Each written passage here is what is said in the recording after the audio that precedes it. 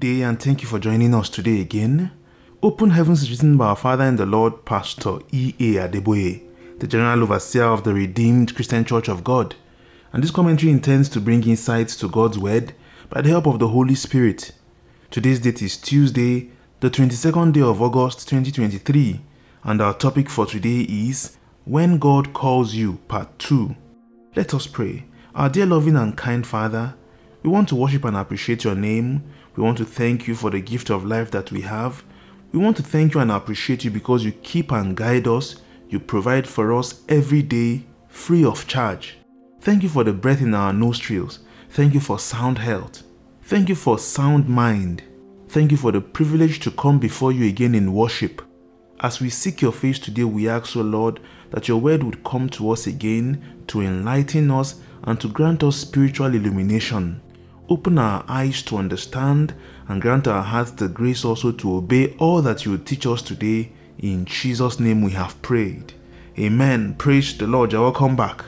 Our memory verse for today is from the book of 2 Timothy chapter 1 verse 9. 2 Timothy 1 verse 9 reads, Who hath saved us and called us with an holy calling, not according to our works, but according to his own purpose and grace which was given us in Christ Jesus before the world began. 2 Timothy chapter 1 verse 9. And our text for today is from the book of 1 Peter chapter 4 from verse 7 to 11. 1 Peter chapter 4 verse 7 to 11 reads, But the end of all things is at hand. Be ye therefore sober and watch unto prayer. And above all things, have fervent charity among yourselves for charity shall cover the multitude of sins. Use hospitality one to another without grudging. As every man hath received the gift, even so minister the same one to another as good stewards of the manifold grace of God. If any man speak, let him speak as the oracles of God. If any man minister, let him do it as of the ability which God giveth that God in all things may be glorified through Jesus Christ, to whom be praise and dominion forever and ever. Amen. 1 Peter chapter 4 from verse 7 to 11. God bless the reading of his word to us today in Jesus name. Amen. Praise the Lord. You're welcome back. Once again our topic for today is when God calls part 2.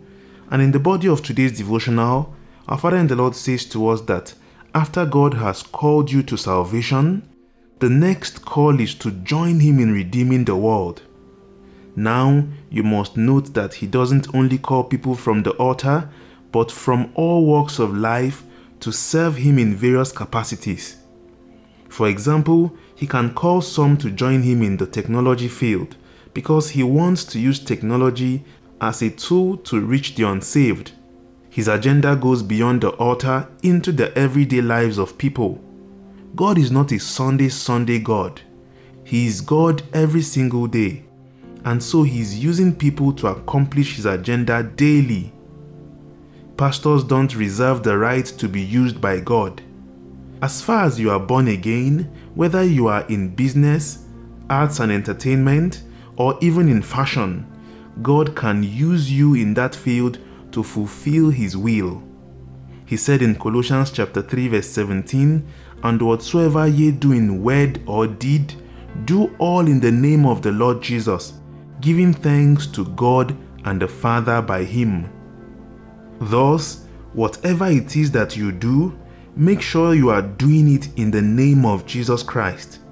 When you do something in the name of someone, it means it is not you, but the fellow being represented that's doing it. In other words, when God calls you to an industry, you are not to go there to do your will but His. His agenda is already set. All He does when He calls you is to join Him in bringing it to pass. Thus, when you feel Him pulling you to work for Him in a certain field of life, then you must ask Him what His agenda is concerning that thing you are to do. Everything you do must be in line with his agenda. You should also note that you are his representative there and you must not do what he himself wouldn't. As a reward for answering the call to join him in his redemptive work in the world, God makes sure that all things work together for your good. Romans chapter 8 verse 28 reads, And we know that all things work together for good to them that love God, to them who are the called according to his purpose. Once you are called according to his purpose and you answer that call, all things will begin to work together for your good. God bless his word to us today in Jesus' name. Amen. Praise the Lord. Once again, our topic for today is When God Calls You, Part 2. Yesterday, we saw the part 1 of this topic, and from that study, we learned that the call of God is twofold. And yesterday, we saw the first part of that call, which was the call to leave our sinful ways and to come to Him in repentance for salvation. We were told that this is the very first call that every man will receive. We learned from that study that after we come to Him, God expects us to follow Him in holiness. And failure to do so, we learned that He would spew us out of His mouth, meaning that He would reject us completely.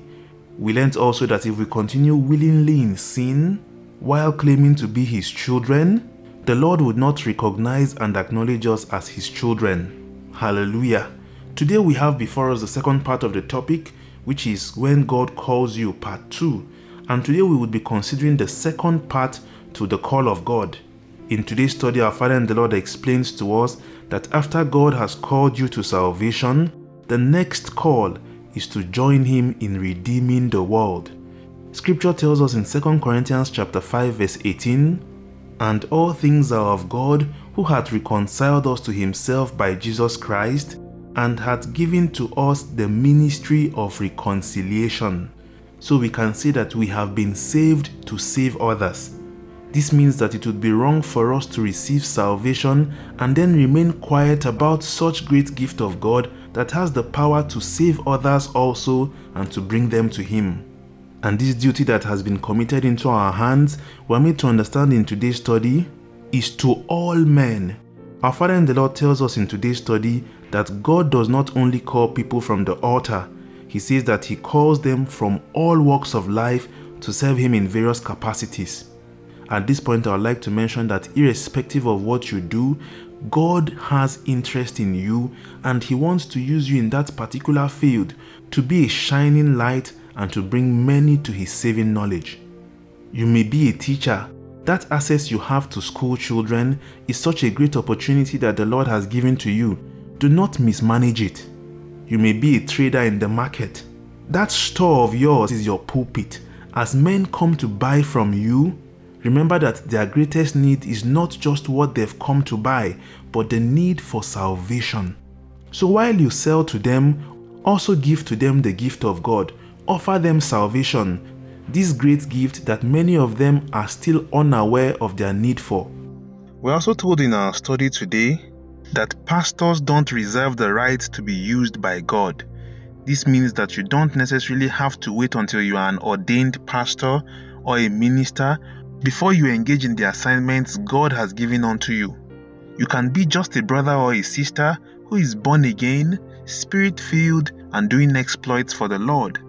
We're also reminded in today's study that whatever we do, we must ensure to do it in the name of the Lord Jesus Christ. This is because we are His representatives, we are ambassadors of Christ. Hence, we are admonished today to ensure that we never do anything that we know He would not do Himself. It is important to state at this point that in today's world, we are the Bibles that people read. People are no longer interested in the kind of Christianity that says, do as I say and not do as I do. They want to see it play out practically from your life.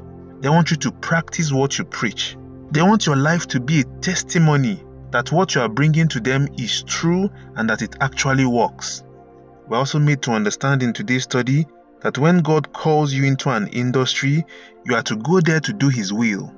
We also learn that it is important to ask the Lord what His agenda is for where He has placed us. That is because everything we must do must be in line with His agenda. In that office of yours, ask the Lord, Lord, what would you have me do in this space? In that political appointment where the Lord has placed you, ask Him, Lord, what would you have me do?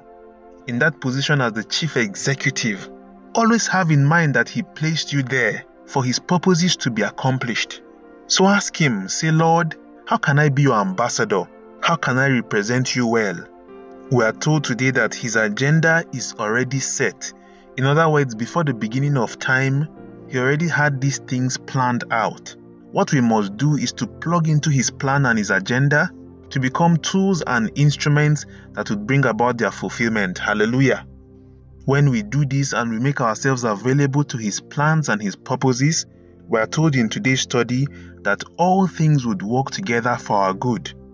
This is irrespective of whether or not we understand what God is working out in our lives and through our lives. Wait until you see the finished product, and you would know that He had the best in mind for you all the while. He would never disappoint you. I would like us at this point to bow our heads and appreciate the Lord for the privilege to be a part of His plans and His purposes. I appreciate Him for the privilege to be a part of what He is doing in these times. I appreciate Him for the privilege to be instruments to bring about the salvation of others. Give Him all the thanks in Jesus' name. Now ask the Lord today, say, Father, grant me the grace to walk in your plans and your purposes for me in the name of Jesus. Ask the Lord today for that grace that would enable us to be kingdom ambassadors and representatives everywhere we find ourselves. Ask the Lord today, say, Father, wherever it is that you have placed me, grant me the grace to maximize it to see men coming to your knowledge in the name of Jesus. Ask the Lord, say, Father, help me to remain at my duty post. Help me to be a mobile pulpit, winning and redeeming men back to you in the name of Jesus. Also, ask the Lord today for the grace to do away with every of our own plans and agenda and to ensure that it is only His kingdom come that would be established in our lives and through our lives in the name of Jesus. Ask the Lord today for the grace to seek Him first in the name of Jesus. Also ask the Lord today, say, Father, according to your word, as we submit ourselves to following your plans and your purposes for us, let all things work together for good. Let our lives be full of your testimonies, signs, and wonders, and let us sing of your praises. Thank you, our dear Father. In Jesus' name we have prayed. Amen. Everlasting King of glory, we give you thanks and we bless your name. Thank you for the privilege to be called by you and to be instruments for the salvation of many others. We ask, O Lord, that the grace to be new, sharp, threshing instruments that will bring in great harvest into your kingdom, you'd grant unto us today. Thank you, our dear Father. In Jesus' mighty name we have prayed. Amen. Praise the Lord. We have a key point in our study today that tells us God called you to that industry to do His will, represent Him well. We receive the grace today to be true ambassadors and representatives of the Lord Almighty wherever He places us in Jesus' name. Amen. Praise God. We have in our Bible in one year reading plan for today to read from the book of Lamentations, chapter 1 down to chapter 2. We also want to thank you and appreciate you for joining us today. We know and we believe that you have been blessed. If you'd love to speak to someone or to receive updates like this sent to you daily, please do well to send a WhatsApp or Telegram message to plus 234 80 986 11226. Do well also to like, share, comment, and subscribe to our various platforms available. Our hymn for today is the hymn 7 of our Open Heavens devotional. We would be singing, I am thine, O Lord. Have a lovely day ahead. See you tomorrow again by God's grace. God bless you and bye for now.